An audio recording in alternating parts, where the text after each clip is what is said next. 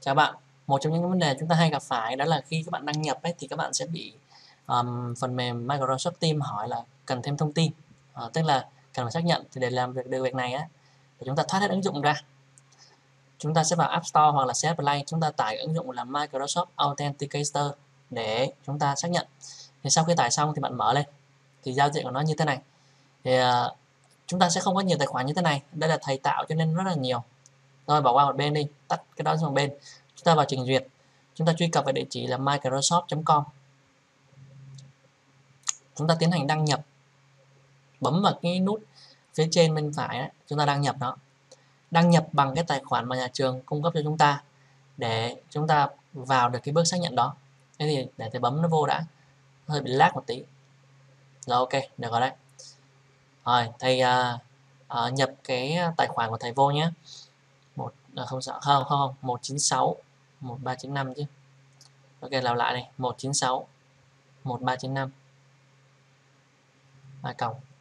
Đồng a. Edu.vn rồi đăng nhập bằng cái password của nhà trường. Cấp cho các bạn. Password 1 a cộng abc rồi đến cái bước này thì chúng ta ấn tiếp theo dùm thầy nha rồi thì lập tức à, người ta sẽ bảo mình là bây giờ mình xác nhận bằng cái nào? Thì chúng ta sẽ thầy khuyến khích các bạn sẽ dùng xác nhận bằng mã kiểm chứng nha bằng bằng thông báo chứ xin lỗi bằng thông báo ấm bấm vào cái trên đó. Rồi chúng ta ấn tiếp tục à, thiết lập. Để chúng ta thiết lập nó. Thì nhà lập tức thì bạn sẽ nhận được một cái mã QR hoặc và một cái dòng ở dưới cái dòng mã và cái dòng URL ở dưới. Thì chúng ta copy cái phần ở dưới này copy cái mã luôn các bạn. Các bạn copy cái mã luôn, nhá. Thì cái việc copy này thì các bạn ấn giữ chuột, ấn giữ vào phím thôi. Ấn giữ và chúng ta copy nguyên cái cái dòng đó thôi các bạn. Rồi, ok, copy. Rồi chúng ta quay trở lại ứng dụng Microsoft Authenticator của chúng ta chúng ta mở lên, ấn vào dấu cộng. Chúng ta chọn tài khoản cơ quan hoặc trường học. Rồi chúng ta nhập là thêm mã bằng cách thủ công. Rồi cái phần URL các bạn copy vào. Copy cho đúng nhé còn cái phần kia cái phần trên á, thì bạn ghi cái số vào ha.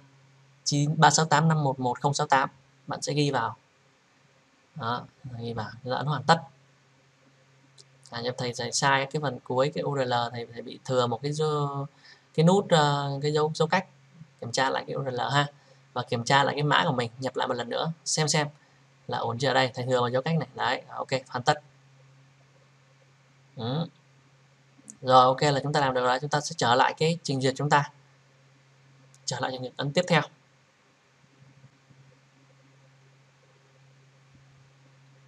Rồi, chúng ta chờ một lúc ha, khoảng tầm 10 giây là chúng ta sẽ được đến bước tiếp theo.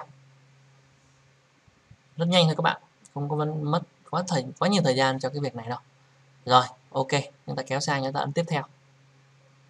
Đó, chờ một lúc thì các bạn sẽ nhận thấy một thông báo là à, thông báo yêu cầu mã kiểm chứng này các bạn ấn vô. Rồi các bạn chấp nhận chấp thuận. Rồi ok chúng ta trở lại cái màn hình của chúng ta. Thì chờ một lúc thì chúng ta sẽ thấy cái nút màu xanh hiện ra chúng ta ấn tiếp theo là ok hoàn tất. Đó thì như vậy là chúng ta sẽ đăng nhập vào được thiết bị của chúng ta mà không bị hỏi một lần nào nữa hết. Ok các bạn cảm ơn các bạn đã theo dõi clip. Xin chào các bạn.